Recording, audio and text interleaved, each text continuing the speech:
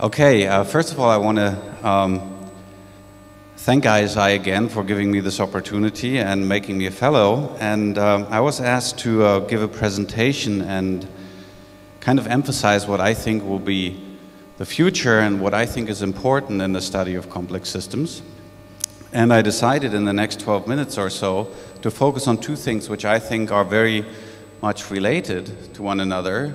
They're not independent, and that is predictability and patterns in complex systems. And I'm going to try to uh, convey this by talking about a few things that, that I've done in the past in my research. And uh, they're both systems that I'm going to talk about that are important in a globalized world, that relate to the way we can unravel patterns in complex systems when we ap apply the right techniques. I will focus a little bit, or particularly on one issue that also Alex Vespignani is interested in in his groups in Vittoria, and that is understanding the spread of uh, pandemic diseases, among other things. I'm going to start with these three posters. Those are movies that appeared in the past couple of years. Some of you may have seen those, like Contagion, which is sort of a movie about what would happen if there's a pandemic with a high mortality rate. And then there's the, the rise of the planet of the apes. It's a kind of a prequel to the classic movies. And if you have seen this movie, right at the end, this, this movie is not about epidemics or pandemics, but right at the end, there's an explanation why humanity disappears in this movie. And there's an, actually an animation which uh, very much looks like uh, the uh, simulations that Vittoria and Alex do uh, concerning epidemics. And then, of course, there's this uh, World War Z movie, which is in the theaters right now in the US. I hear that it's not doing too well, but that is about a zombie pandemic.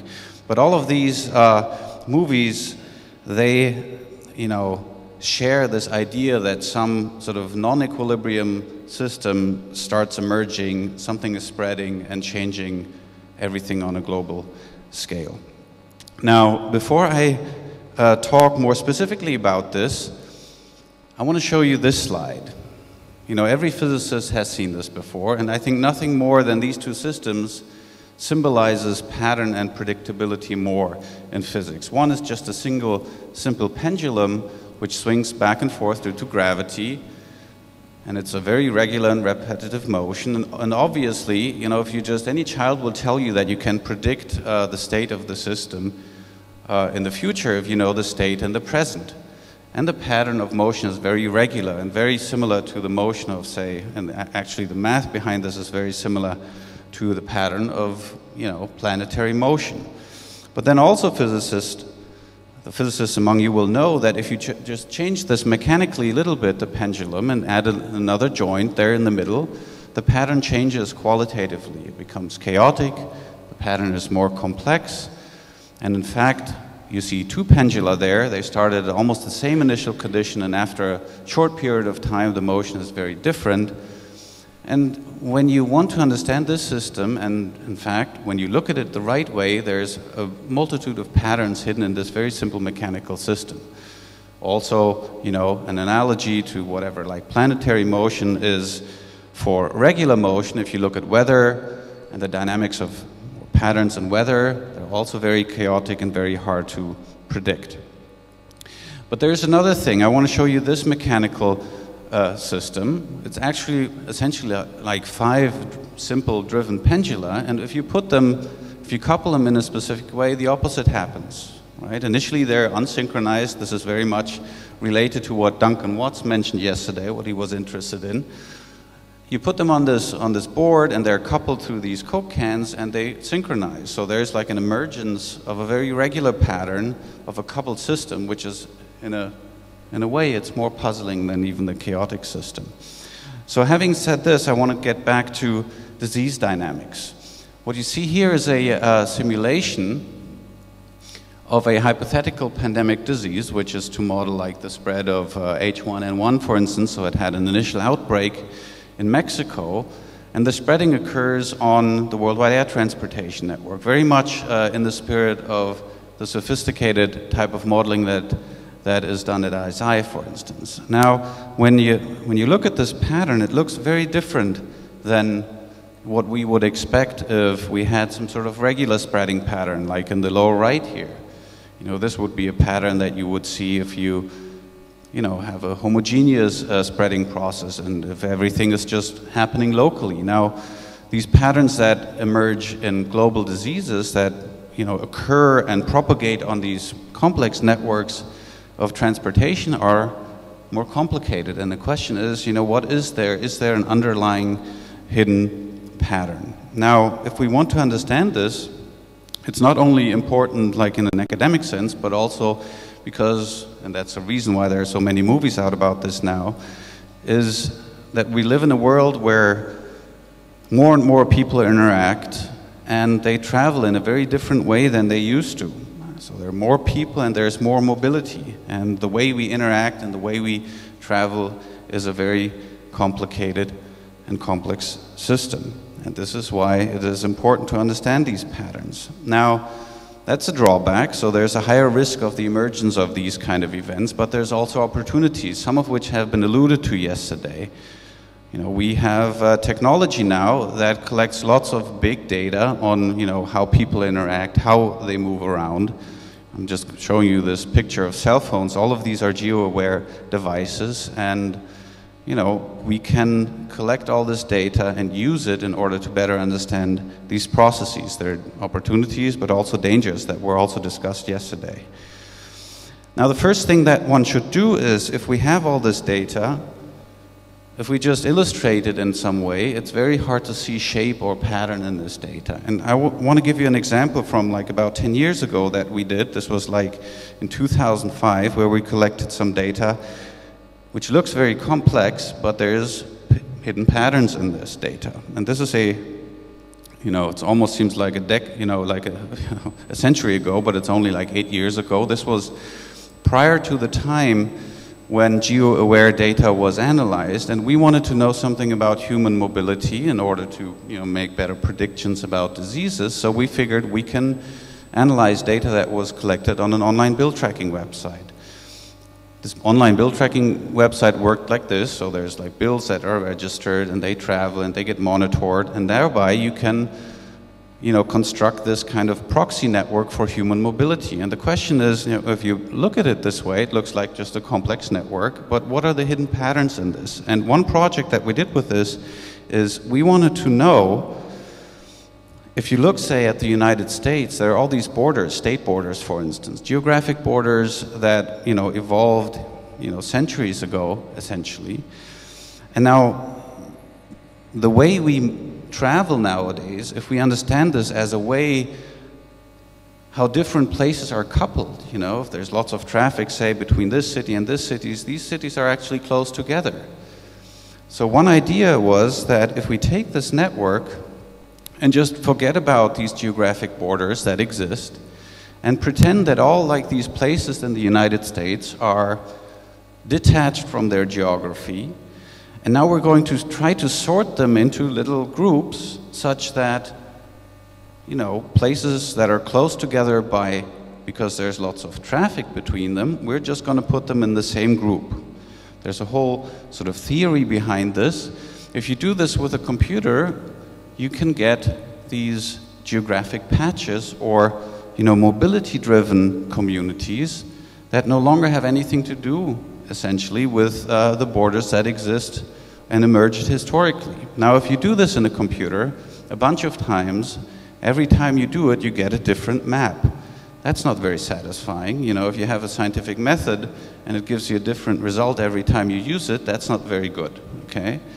Now, the trick is, if you do this very, very many times, you will see all these maps that are extracted from this mobility network, or in this case, the network of money traveling, essentially. If you do this very many times, you will see that every time you do this and you just focus on the borders, there are certain patterns that reemerge. So if you do this, say, a thousand times, and you get a thousand maps and you put them on top of one another, then you see structure emerging. This is a pattern that is not seen in the actual network. If you just look at the network, you don't see that. Now here's another picture of these borders. So these borders are just extracted or hidden in this uh, multi-scale mobility network. And you see sometimes they coincide with the actual geographic state borders and sometimes they don't. So these are human activity-driven mobility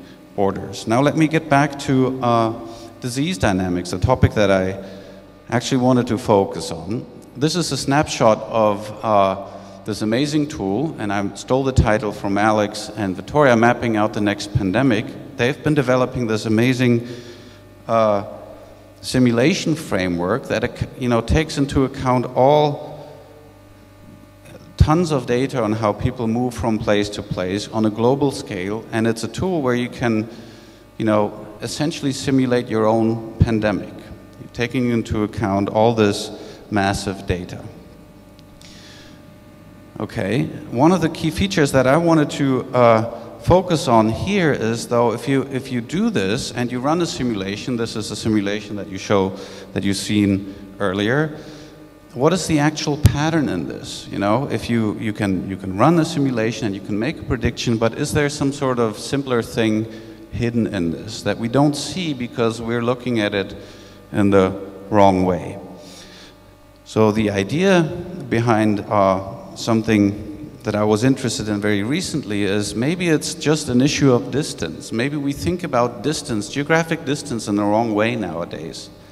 Okay, so let's focus on, on these couple of nodes in this worldwide air transportation network. Let's say you're in New York, and places like Pittsburgh and Raleigh, Durham, North Carolina are geographically very close to you. But there's very little traffic. On the other hand, London Heathrow and Frankfurt, they're very far, but there's lots of traffic. So intuitively, maybe this is the wrong way of looking at things. Maybe it's better to look at the whole system this way. Maybe New York is much closer to the European metropolitan areas because there's more traffic. And in fact, you can write down an equation for this, which is not so important, but the, the general idea is what happens if we just remap the world such that if there's lots of traffic, these places are closer.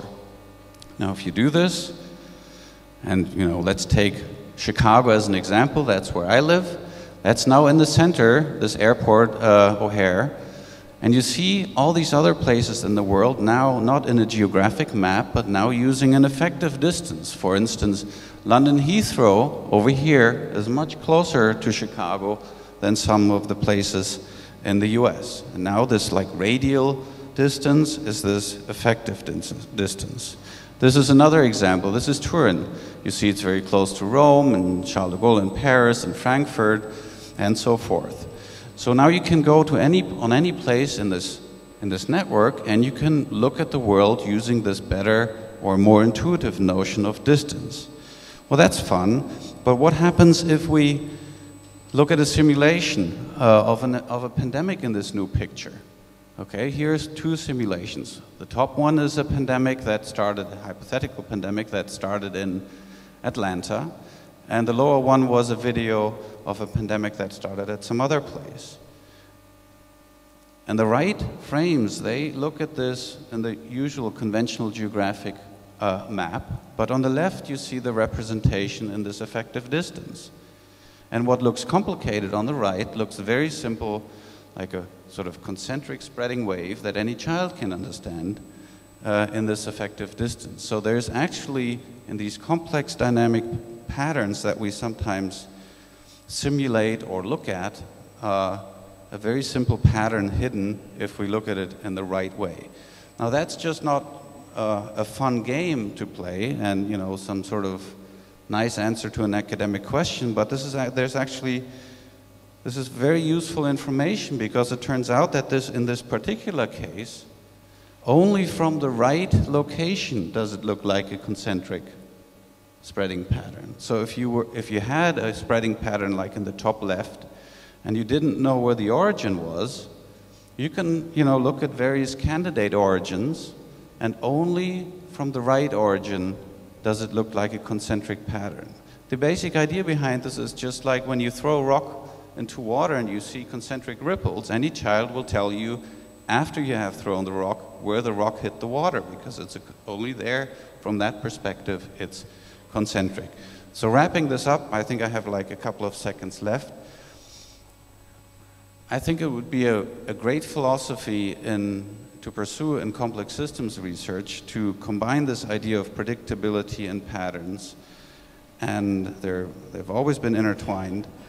And I think, particularly in these complex dynamic phenomena, it's important to always take your time and uh, you know develop specific perspectives and and see if there's something hidden in this complex pattern that may look complex in a conventional way, but may be very simple after all. Thank you very much.